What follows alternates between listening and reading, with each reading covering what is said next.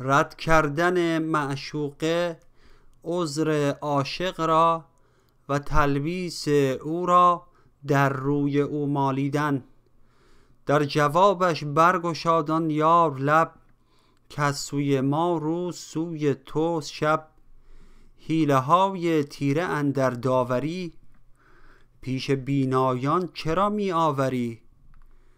هرچه در دل داری از مکر و رموز پیش ما رسواست و پیدا همچو روز.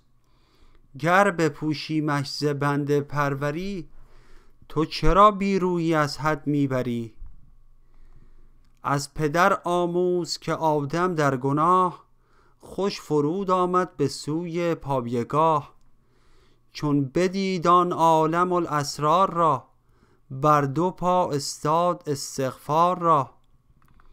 بر سر خاکستر انده نشست از بهانه شاخ تا شاخی نجست. ربنا انا ظلمنا گفت و بس چون که جانداران بدید از پیش و پس. دید جانداران پنهان همچو جان دور باشه هر یکی تا آسمان.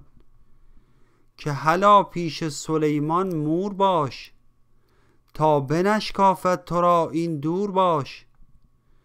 جز مقام راستی یک دم مهیست. هیچ لالا مرد را چون چشم نیست.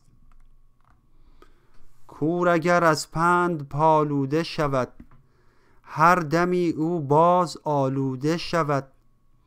آدما تو نیستی کور از نظر لیک ازا جاء القضا امی البصر عمرها باید به نادر گاه گاه تا که بینا از قضا افتد به چاه.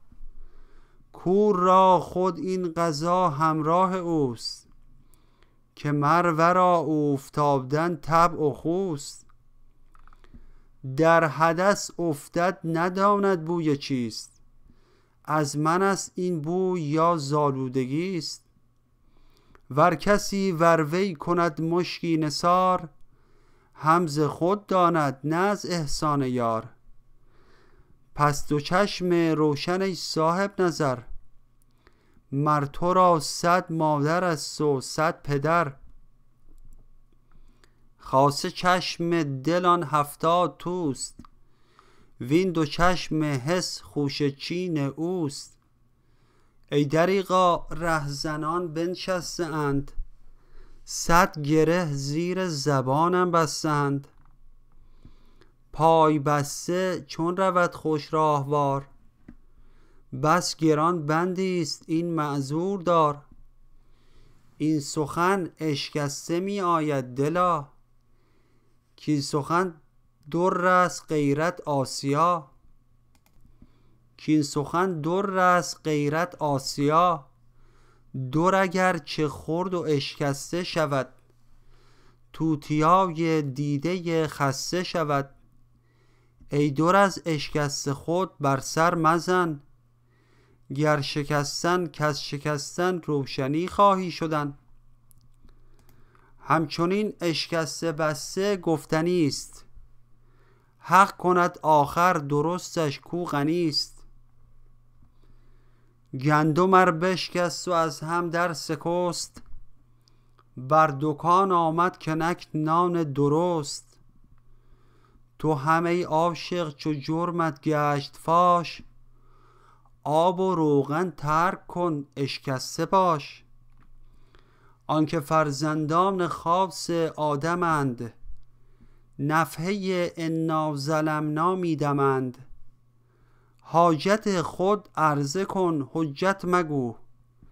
همچو ابلیس لعین سخت رو سخت رویی گر ورا شد عیب پوش. در ستیز و سخت رویی رو بکوش. آن ابوجهل از پیمبر معجزی. خواست همچون کینه ور ترکی غزی. لیک آن صدیق حق معجز نخواست. گفت این رو خود نگوید جز که راست. کی رسد همچو تویی را کز منی؟ امتحان همچو من یاری کنی؟